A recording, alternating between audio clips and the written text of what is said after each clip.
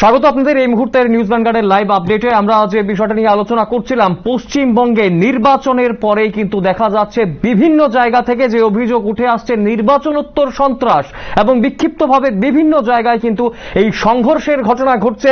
কোথাও কোথাও টিএমসি কর্মীরা আক্রান্ত হচ্ছেন, তো কোথাও সেখানে বিজেপি কর্মীরা আক্রান্ত হচ্ছেন। অন্যান্য জায়গায় যেটা খবর আসছে, যারা মোর্চা ছিলেন, সংযুক্ত মোর্চা ছিলেন মোর্চার যে প্রার্থীরা ছিলেন, তারাও কিন্তু সেই জায়গাতে আক্রান্ত হচ্ছেন প্রার্থী কর্মী সমর্থক প্রত্যেকে সেই জায়গায় আক্রান্ত হচ্ছেন। একজন দর্শক বন্ধু রয়েছেন আমাদের সঙ্গে। নমস্কার নিউজ ব্যাংকার বন্ধু কে বলছেন? হ্যাঁ নমস্কার। আমি কমলপুর থেকে বলছি। নমস্কার বলুন। এই যে সন্ত্রাস হচ্ছে এটা পশ্চিমবঙ্গে নতুন নয়। হুম হুম। এটা ইলেকশনের আগ থেকেও এভাবে ধারাবাহিক সন্ত্রাস চলেছিল। বিজেপি বারবার অভিযোগ করেছিল সেই অভিযোগ পাত্তা দেয়নি। তৃণমূল সরকার তো এই পশ্চিমবঙ্গে গণতন্ত্র বাম আমল থেকে দেখেছি গণতন্ত্র ছিল না মমতা দিয়ে আসার পরেও কি গণতন্ত্র নেই। গণতন্ত্র যদি বিশ্বাস করে এবং যদি তার গণতন্ত্রকে ধরে রাখে একমাত্র রাষ্ট্রবাদী সরকার বিজেপি সরকারই করে।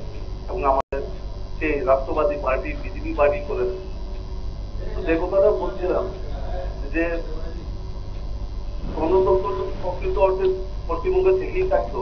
আর মমতাদি যেভাবে বাংলার কথা বলেন বাংলার মানুষের কথা বলেন গতকাল সরি আজকে একটা চ্যানেলে দেখেছিলাম রাজ্য আমাদের রাজ্য মমতাদি পাস করেছেন প্রতি উৎসাহে বাজি পটকা ফুটাচ্ছেন নির্বাচন এবং অর্থাৎ সরকারি নিয়ম বিধি না মেনে এসব কাজ তো করছেন এটা এতেই পরিষ্কার যে ভারতের রাষ্ট্রবাদী সরকারের যে উন্নয়নমূলক কাজের যে ধারাবাহিক গতি, তার রোধ করার জন্য বিভিন্ন ছোট ছোট আঞ্চলিক দল থেকে শুরু করে বিভিন্ন রকম রাজনৈতিক কায়দা কৌশল অবলম্বন করছেন বিজেপি সরকারকে কালিমা মুক্ত করার জন্য। যাই হোক ঘটনাটা বলছি। এখন যে আপনাদের চ্যানেলে দেখছিলাম যে শ্রদ্ধেয় আমাদের বিজেপি মনোনীত প্রার্থী শুভেন্দু অধিকারী ওনার যে লক্ষ্য তৃণমূল কর্মীরা যেভাবে আক্রান্ত করছে।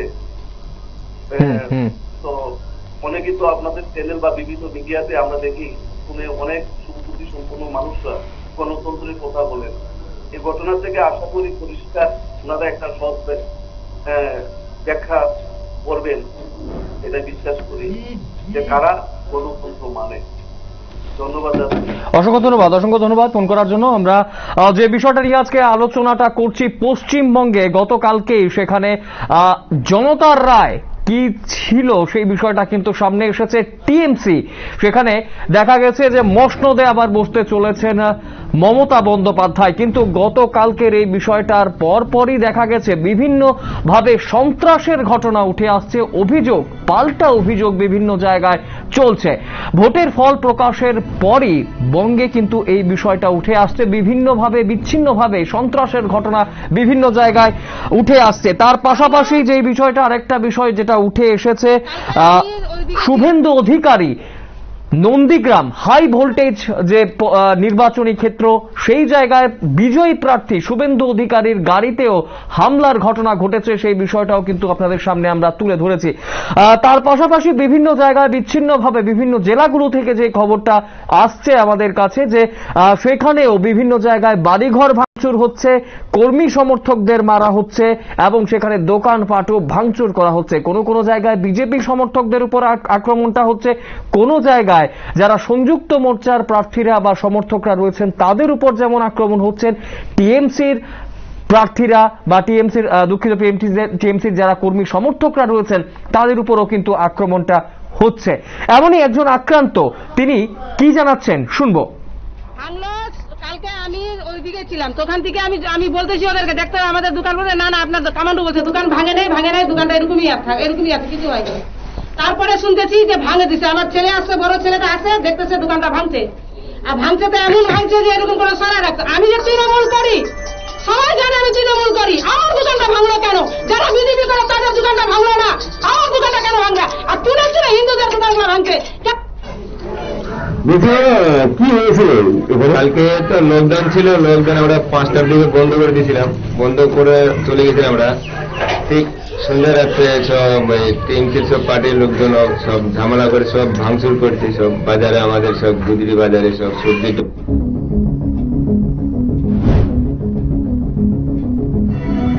বিচ্ছিন্নভাবে সন্ত্রাসের ঘটনা বিভিন্ন জায়গা থেকে উঠে আসছে এবং সেখানে আপনাদের সামনে তুলে ধরলাম দুজনের বক্তব্য এবং তারা কিন্তু বলছেন যে গতকালকে যেহেতু পশ্চিমবঙ্গে এই মুহূর্তে পার্শ্বের লকডাউন চলছে, পাঁচটার পরে তারা বন্ধ করে চলে গেছেন। তারপরই দেখা যায় যে বিভিন্ন দলের সমর্থকরা তারা উত্তেজিত হয়ে সেখানে দোকানপাট তাদের কিন্তু ভাঙচুর করছেন। আরও শুনব অন্যান্যরা কি বলছেন।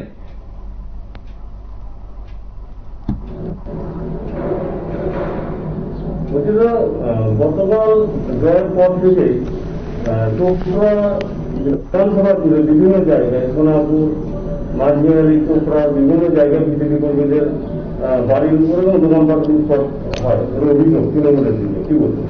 দেখুন আমার কাছে কোনো অভিযোগ আসেনি। তবে আমাদের, আমরা ক্ষমতায় থাকাকালীন বিজেপি আমাদের পার্টি অফিস ভাঙছিল এবং মকসুদ রহমান, তার হাত ভেঙে দিতে আপনারা জানেন, আমরা কিন্তু তার প্রতিবাদ করিনি। যে মানুষ আমাদের সাথে আছে, এরা তো এমনই অবস্থা যে ক্ষমতা পেয়ে গেছে এরা। আপনারা জানি না কোথায় লুটপাট হয়েছে, কিছু আমার কাছে কোনো এখনও অবধি খবর আসেনি।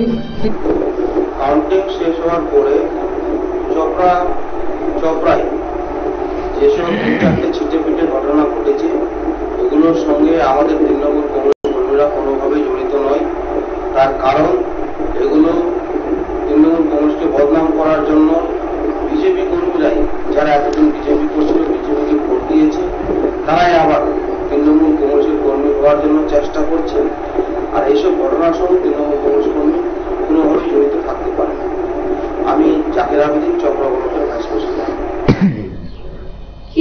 আর এবার দেখুন পরিস্থিতি কি হতো যদি আমরা মানে বাই চান্স যদি ওরা জিতে যেত আমরা কেউ ঘরে থাকতে পারতাম না। বিজেপি যদি জিতে যেত এর আগে উনিশের ভোটে আমরা কেউ থাকতে পারিনি বাড়িতে। মানে এমন এমনকি যারা টিএমসির সঙ্গে যারা যুক্ত হয়েছে সব কর্মীরা আছে তাদের বাড়ি বাড়ি অলরেডি ভোটের আগে ওরা থেট দেওয়া শুরু করে দিয়েছিল তোমরা টিএমসির সঙ্গে ঘুরছো কথা বলছো তোমরা কিন্তু টার্গেট হয়ে যাচ্ছে। আগে থাক থেকে এই যে তপার কথা বলছি সে বাড়ি বাড়ি গিয়ে থেট দিয়ে এসছে সবাইকে। তারপরেও কিন্তু মানুষ বুঝেছে যে কাকে দেওয়া উচিত কাকে দেওয়া না দিয়েছে। দেখছে ওদের সফল বিফল হয়েছে এখন এই অবস্থা আমাদের। এই আশেপাশের লোক যারা আছে দেখেছে এবার ফোন করছে আমার বাড়ির পাশেই ফোন করেছে যে এরকম জায়গায় বোম পাওয়া যাচ্ছে দিদি আপনি আসুন। এবার আমরা এসে দেখছি এই পরিস্থিতি। পাড়ার লোকরা এসে দেখছে। আমার নাম শম্পা মন্ডল পঞ্চায়েত সমিতির মেম্বার। অভিযোগ পাল্টা অভিযোগ কিন্তু চলছে এবং সেই জায়গায় পশ্চিমবঙ্গে নির্বাচনোত্তর সন্ত্রাস নতুন কোনো ঘটনা নয়। সেখানে নির্বাচনের আগেও যেরকম ভাবে দেখা যাচ্ছে বিভিন্ন জায়গাতে এই সংঘর্ষের ঘটনাগুলো ঘটে। নির্বাচনের পরেও কিন্তু একই রকমের এই ঘটনাগুলো দেখা যাচ্ছে।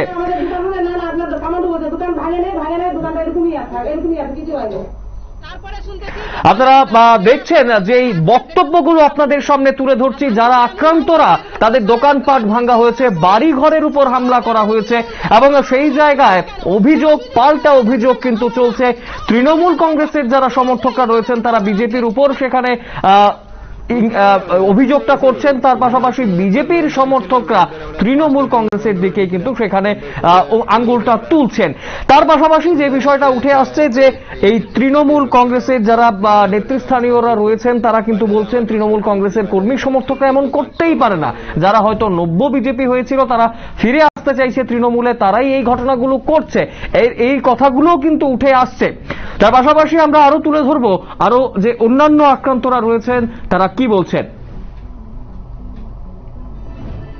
নির্বাচনোত্তর সন্ত্রাস, অবশ্যই কোনো জায়গাতেই কিন্তু কাম্য নয়। আপনারাও আপনাদের মতামত জানাতে পারেন, zero three eight one two three eight four four eight eight এই নম্বরে ফোন করে অবশ্যই আপনাদের মতামত, পশ্চিমবঙ্গের যে সিচুয়েশনটা চলছে এই মুহূর্তে, সেটা নিয়ে কিন্তু নিশ্চয়ই জানাতে পারেন। আমরা শুনব সেখানকার যে আক্রান্তরা রয়েছেন, যাদের উপর হামলা হয়েছে, যাদের বাড়িঘর ভাঙচুর করা হয়েছে, কি বলছেন তারা?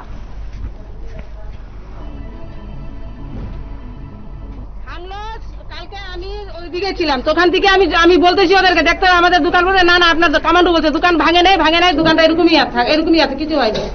তারপরে শুনতেছি যে ভাঙে দিছে। আমার ছেলে আসছে বড় ছেলেটা আছে, দেখতেছে দোকানটা ভাঙছে। আর ভাঙছে তো এমন ভাঙছে যে এরকম করে সরাই রাখছে। আমি যে তৃণমূল করি, সবাই জানে আমি তৃণমূল করি। আমার দোকানটা ভাঙলো কেন? যারা বিজেপি করে তাদের দোকানটা ভাঙলো না। আমার দোকানটা কেন ভাঙলা? আর তুলে তুলে হিন্দুদের দোকানগুলো ভাঙছে। বলছি কি হয়েছিল কালকে তো লকডাউন ছিল লকডাউন আমরা পাঁচটার দিকে বন্ধ করে দিয়েছিলাম। বন্ধ করে চলে গেছিলাম আমরা। ঠিক সন্ধ্যা রাত্রে সব টিএমসির সব পার্টির লোকজন সব ঝামেলা করে সব ভাঙচুর করছে সব বাজারে আমাদের সব গুজরি বাজারে সব সবজির দোকান সব আরও অন্যান্য সব।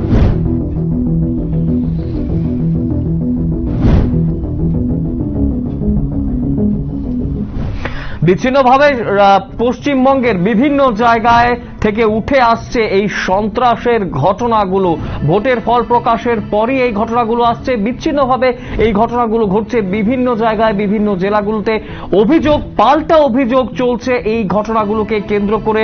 ফল প্রকাশের পরই বঙ্গে কিন্তু সন্ত্রাসের ঘটনা দেখা যাচ্ছে। বাড়িঘর ভাঙচুর দোকানপাট ভাঙচুর কর্মী সমর্থকদের মারধর।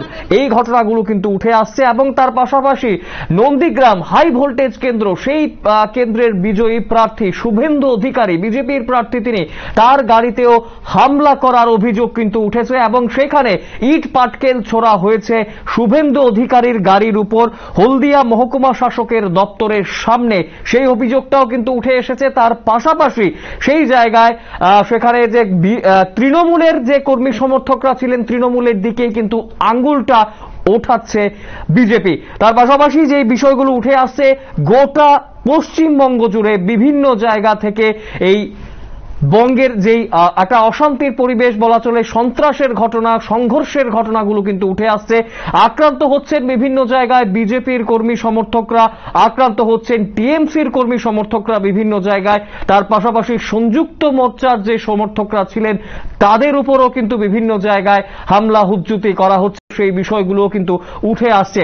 অবশ্যই কিছু কিছু জায়গা থেকে সেখানে যে তথ্য উঠে আসছে যে বিজেপির প্রার্থীরা সেখানে পঞ্চাশের উপর এমন আসন কিন্তু রয়েছে যেখানে তারা খুব কম ব্যবধানে সেখানে হেরেছেন। সেই জায়গাগুলোতেও বিজেপির যে একটা স্ট্রং সাপোর্ট রয়েছে, সেটা কিন্তু অনস্বীকার্য। তাই সেই জায়গাগুলোতেও কিন্তু সংঘর্ষের ঘটনা দেখা যাচ্ছে। এখন দেখার প্রশাসন কি ব্যবস্থা নেয়, যদিও আগে থেকেই প্রশাসনের আধিকারিকরা কিন্তু কড়া বার্তা দিয়েছিলেন, কিন্তু এই মুহূর্তে গ্রাউন্ড রিপোর্ট তারা কীভাবে করছেন কতটা কঠোর ব্যবস্থা নিচ্ছেন সেটাই কিন্তু এখন দেখার বিষয়। নিয়ে নিচ্ছি ছোট্ট একটি বিজ্ঞাপন বিরতি, সঙ্গে থাকুন।